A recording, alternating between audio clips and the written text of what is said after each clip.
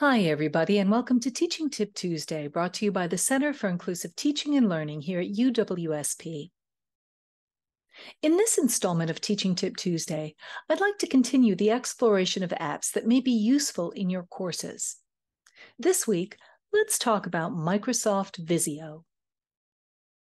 Microsoft Visio is vector diagramming software that's part of the Microsoft 365 suite of applications. It's great for generating visual representations of complex information. Among other things, Visio can be used for concept and argument mapping, flowcharts, process mapping, organizational hierarchies, timelines, and so much more. This program has a lot of potential for increasing student engagement with course content through active learning exercises and assignments. You can use it to produce instructional infographics for use in teaching, as well as images for integration into lectures, presentations, and posters. Part of what I find so appealing about Microsoft Visio is that its interface is much the same as seen in PowerPoint. If you can work PowerPoint, you can work Visio. There are lots of templates in Visio to get you started quickly on concept visualization. All of the diagrams are constructed with drag and drop shape and icon elements that allow really quick construction of meaningful images. Finally, because of the tremendous diversity of diagrammatic elements compared to PowerPoint, this app is superior to its PowerPoint cousin for diagramming processes and relationships. So let's take a look at Visio. In your Microsoft 365 account, there's a general list of programs, but to find Visio, you need to access either the All Apps button at the bottom of the list or the waffle. Under the waffle, you can find Visio. Upon opening the program, you're immediately confronted with template choices. The More Templates link will take you to the full assortment, and it is large. Under this listing of the full assortment, you get a good idea of what each of the templates might be used for. Choosing a template from this list should allow Visio to automatically open certain sets of elements for building your diagram. In your new Visio file, elements are accessed using the panel on the left of your canvas. Here we have some basic shapes and arrows for connection. Using the Add icon, you can load any number of element sets for access while creating your diagram.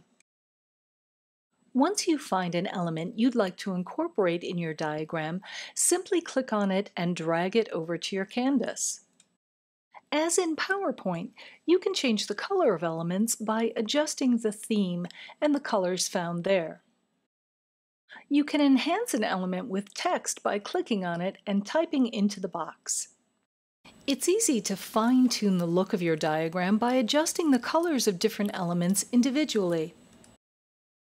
And after you've added a few more elements, you can begin to show relationships and how those elements interact by using arrows. It's worth your time to play around with Visio on your own to see what things it can do for you. For most users, the online Microsoft 365 app is probably perfectly fine, but I'd be remiss if I didn't mention that there is a more complex desktop app that is also available from Microsoft. So the benefits of the online program are that it's available to all UWSP students, staff, and faculty.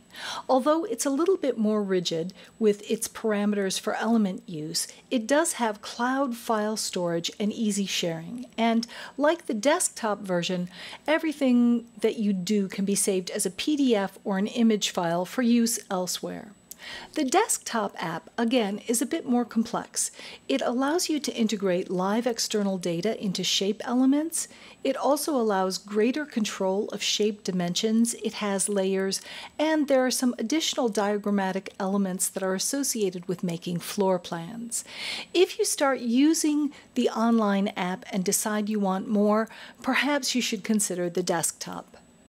Visio may be a useful tool for your courses, enhancing your ability to make visual representations and providing an alternative platform for certain student learning activities. And that's this week's teaching tip brought to you by the Center for Inclusive Teaching and Learning here at UWSP.